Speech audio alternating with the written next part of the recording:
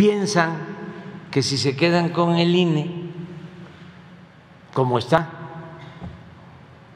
van a poder contar con un instrumento para el fraude. Están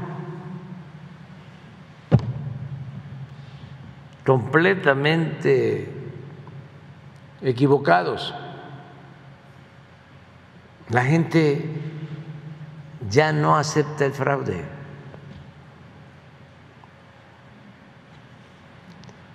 Y este y el dinero,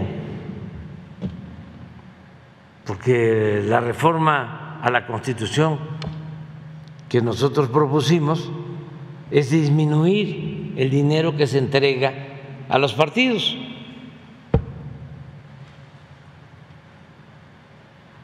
Todo eso lo cuidaron.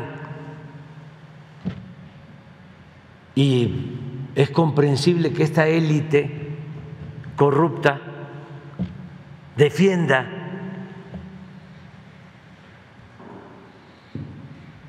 del fraude electoral porque han hecho uno, dos, tres, diez, veinte fraudes, siempre,